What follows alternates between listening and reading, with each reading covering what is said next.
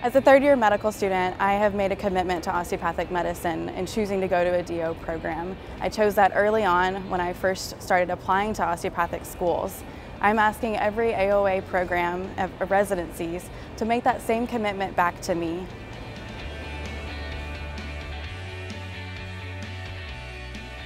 I think that I would tell a residency program that if you have no idea what osteopathic medicine is about, you're missing out.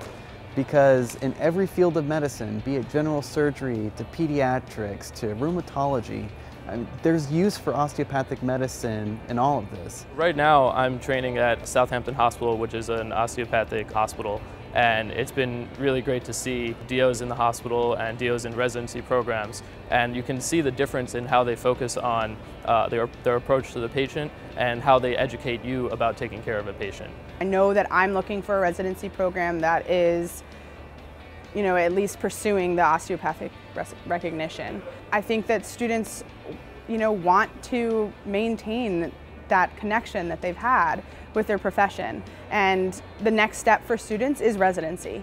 And so to go from a medical school that was, you know, all about the osteopathic principles and practices, and then to go to a residency that doesn't encourage those things, I think, you know, isn't something that I, that I think a lot of students want. They want that osteopathic approach.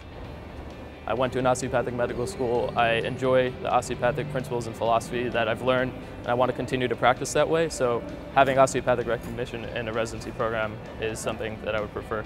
I will not apply to any program unless they are osteopathically accredited, period. I already know that I'm going to be an osteopathic physician. I already know that I'm going to be uh, applying the tenets and the practices of an osteopathic physician.